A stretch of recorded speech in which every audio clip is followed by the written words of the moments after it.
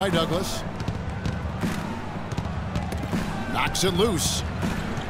Oh, and here we go. Crawford all alone. Oh, oh my goodness. What a huge play. Tell you what, he's going to put that one in his scrapbook.